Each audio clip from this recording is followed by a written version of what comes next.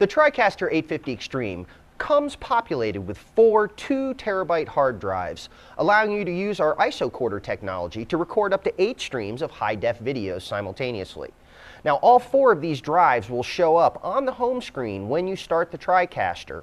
And when you start a brand new session, you have the ability to choose which one of these drives you want to use as the main drive for that session.